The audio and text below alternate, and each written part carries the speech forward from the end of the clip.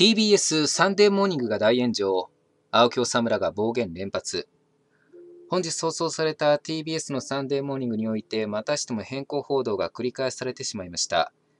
えまず、熊本の水害について、関口宏さん。数年前から、梅雨の時には、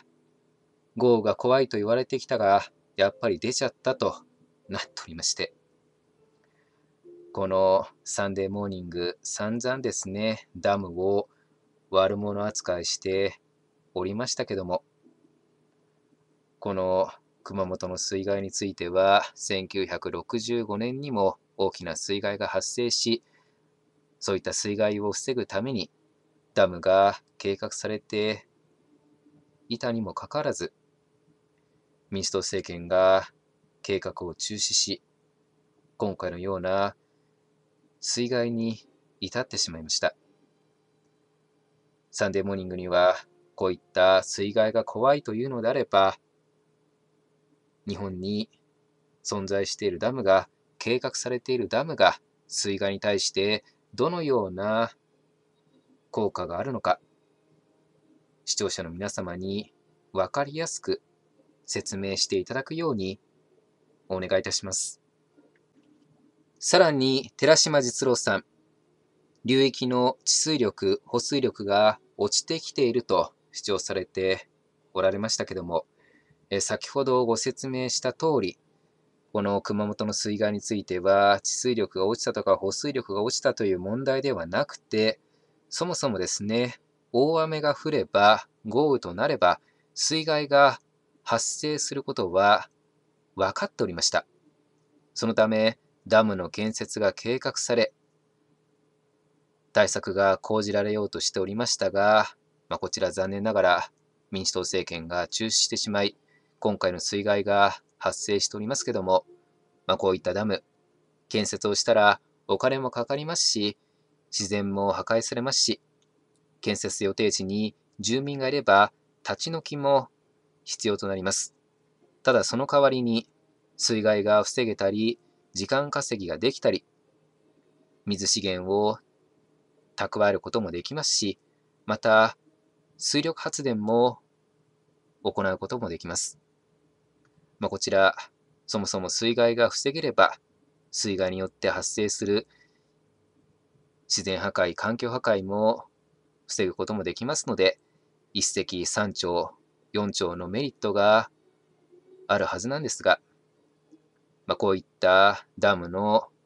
有効性について、ダムを建設するメリットについて、一切無視して、一方的にダムをですね、悪者かのように煽り続けている方が現在もいらっしゃいますけども、水害などの災害は人の命も財産もいっぺんに奪い、そういった個人単位ではなくて、地域社会そのものが破壊される場合もございますので、そのような災害に対抗できるのは個人ではなく、国や自治体でございます。そういった国や自治体などが責任を持ってダムを建設したりして対策を講じることしか、このような水害を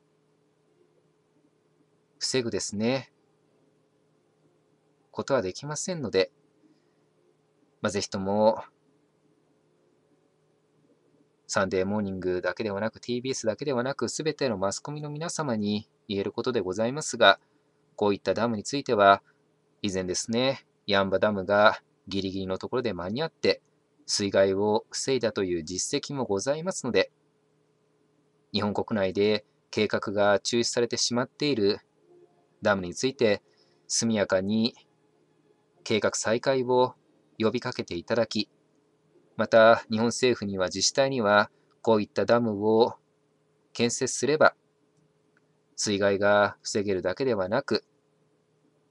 水資源を有効活用し渇水対策となったり発電もできるというメリットもございますので今後はぜひとも活発にですねダムの計画を立て、ダムを建設していただき、こういった水害に強い国づくりを政府には自治体には進めていただくようお願いいたします。えさらに感染症対策について青木治さん、徹底的に検査をして陽性者をあぶり出した上で隔離をしていくということをですね、地道にやっていくしかない。そういう動きが政治レベルで見えないとなっておりまして、こちら、日本においては、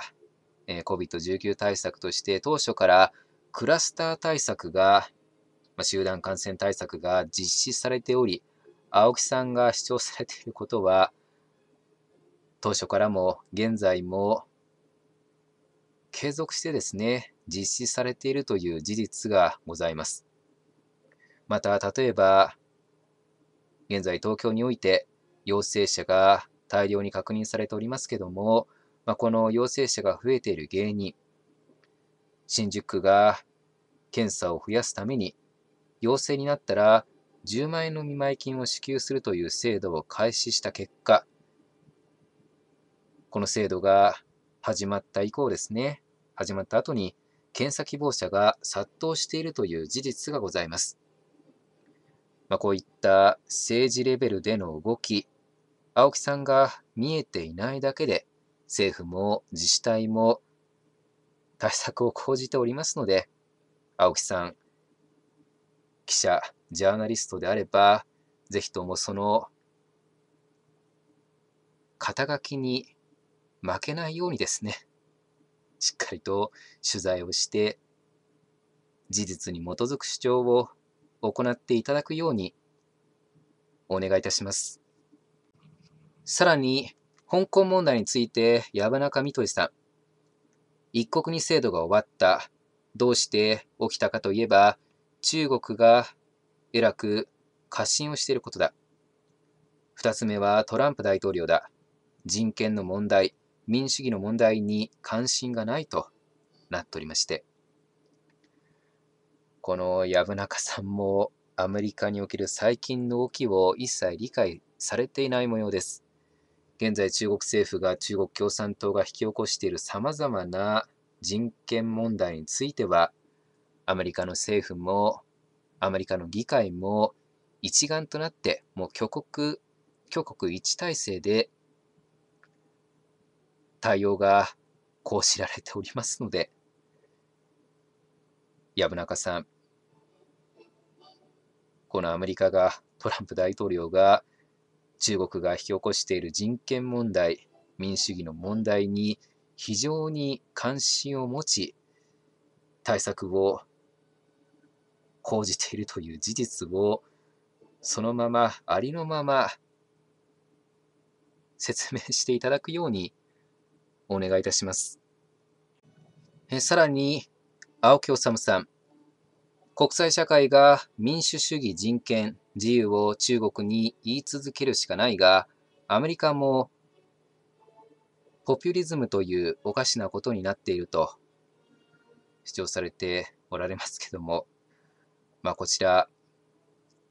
国際社会が中国に言い続けるしかないだけではなくてですね、言うだけではなく、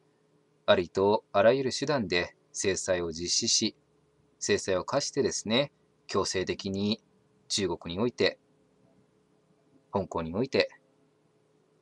民主主義を実現するべきなんじゃないでしょうか。また、アメリカもポピュリズムだどうこうと青木さんが主張されておられますけども、要するに青木さんはトランプ大統領が大衆迎合をしていると主張されておられますが、まあ、この民主主義というのは、直接民主主義でなければ、代表者を選んで、国民がですね、代表者を選挙で選んで、国民の主張を意見を政治に反映させていくという仕組みになっておりますので、トランプ大統領が選ばれたのであれば、トランプ大統領を選んだ支持した皆様の主張ですね。トランプ大統領が実現しても何の問題もないんじゃないでしょうか。青木さん、まあ、とりあえず中国だけではなくてアメリカも悪いんだと批判するためにポピュリズム動向と主張されているようでございますが、まあ、こういった喧嘩両成敗的な主張をされる前にですね、青木さんには中国政府、中国共産党がどのような人権侵害を行っているのか、ジャーナリストとして記者として徹底的に調べ上げ、サンデーモーニングで取り上げていただくようにお願いいたします。さらに敵基地攻撃能力について薮中美俊さん。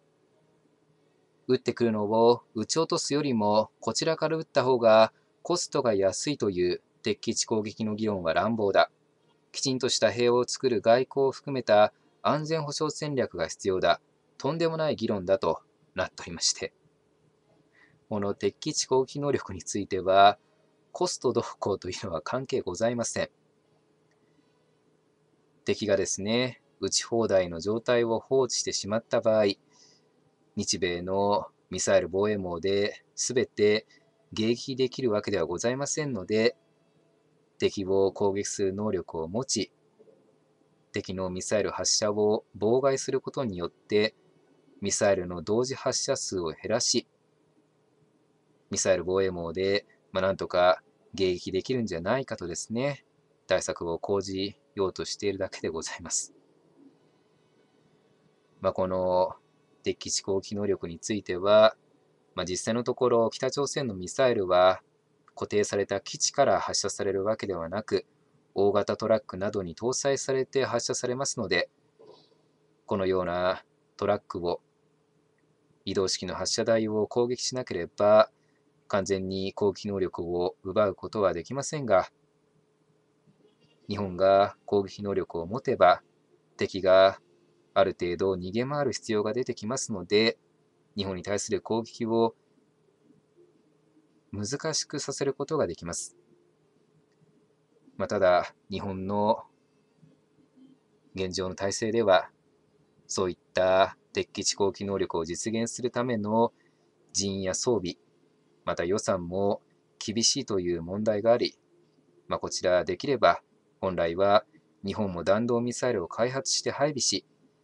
イスラエルのように明言はせずとも核兵器を保有していると世界に認識させるのがより確実な抑止力になるんじゃないかと思われますが、こちら、薮中さんにはこういったコスト動向と一方的にですね、主張される前に、敵基地攻撃能力がどのような効果を生むのか、しっかりと事実に基づいた主張を行っていただくようにお願いいたします。さらに、レジ袋の有料化について杉浦アナウンサー、すでに60以上の国と地域でレジ袋の規制が行われているが、日本は後発国だ。さらに、本村由紀子さん。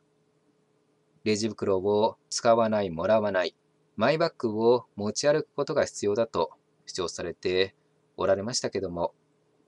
まずですね、日本において年間およそ1000万トンのプラスチックが使用されておりますが、そのプラスチックが海に流出する可能性は0.2%から0.6%でございます。そのうちレジ袋については、海岸で確認された漂着ゴミのうち0.4%がレジ袋。その他のプラスチック製のストローなど飲食店が使うような容器についても0.5%程度確認されておりますので、現在日本において対策が講じられているレジ袋やまあ、企業が自主的に進めているプラスチック容器の排除は、ほぼ効果がないと断言できます。また、レジ袋の規制については、現状は COVID-19 の感染拡大の原因になる恐れがあるとして、レジ袋を規制していた国々も無料化にですね、踏み切っているという事実もございます。実際のところ、頑丈なマイバッグを作るために必要なプラスチックとペラペラのレジ袋であれば、レジ袋の方が使う資源についてはエコなんじゃないでしょうか。ぜひともこのレジ袋が悪いという主張をですね、されるのであれば、TBS には、サンデーモーニングには、しっかりと数字をもとに議論していただくようお願いいたします。最後に北朝鮮問題について青木治さん。北朝鮮が韓国を揺さぶるということは、ある種のラブコールを送ってきている。このまま放っておいてはいけないので、日本の場合には韓国との対立を避けて北朝鮮と向き合う努力をすべき時だとなっておりまして、まあ、この北朝鮮については、まあ、中国が暴れ始めており、まあ、さらに COVID-19 の影響で非常に強力な制裁が実施されているような形になっておりますので、まあ、一番手近で弱そうな韓国を揺さぶって、まあ、ゆすりたかりをしようという魂胆なんじゃないかと見られておりますけども、まあ、そういった中で日本政府が北朝鮮に対して行うべきことは日本国内でも日本国外でも北朝鮮に関連する存在に対し、徹底的な制裁を課して北朝鮮を締め上げ、拉致問題も弾道ミサイルの問題も核問題も解決するためにですね、さらに圧力を強化することなんじゃないでしょうか。また、韓国政府については先日、韓国の国家情報院長に北朝鮮に違法送金した人物が就任し、また国家安保室長や統一省にも北朝鮮審判が就任しておりますので、まあ、こちらほとんど北朝鮮のようになりつつある韓国政府と日本は北朝鮮問題で協力することはできないでしょう。まあ、先日もボルトンさんの暴露本の中で信用してはいけないと安倍首相がトランプ大統領に何度も忠告し、トランプ大統領もボルトンさんも安倍首相を、日本政府を相当ですね、好意的に扱っていることが明らかになっておりますが、青木さん、まあ、本日何度も同じ注意をですね、してしまっている気がするんですけども、青木さん、ご自身が記者だとジャーナリストだと名乗るのであれば、まあ、ぜひとも最近の韓国政府の動きについてもしっかりと把握をしていただき、そういった事実に基づいた主張を今後は行っていただくようにお願いいたします。以上になります。ご清聴いただきありがとうございました。